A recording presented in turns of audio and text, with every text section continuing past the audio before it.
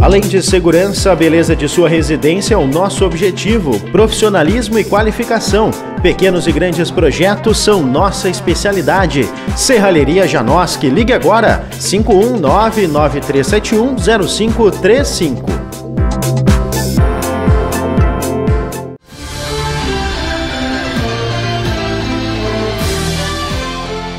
Confira agora as principais notícias da região.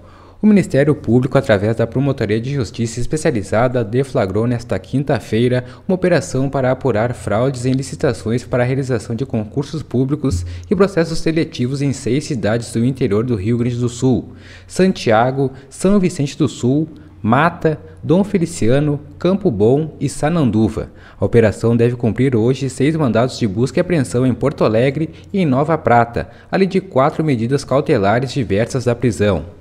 A Petrobras anunciou nesta quinta-feira a redução de 1,1% no preço da gasolina em suas refinarias. A partir de amanhã, 22 de junho, o litro do combustível será vendido pela estatal por R$ 1,863, dois centavos a menos do que R$ 1,884 cobrado hoje. Desde o dia 9 de junho, quando foi anunciado o último aumento no preço, a Petrobras tem mantido ou feito reduções no valor do combustível.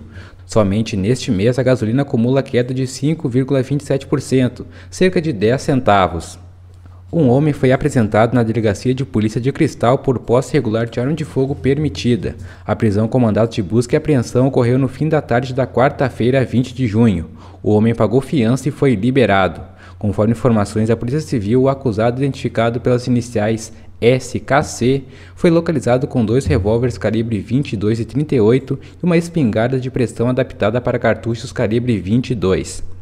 Essas e outras notícias você confere no nosso site www.lagoatv.com.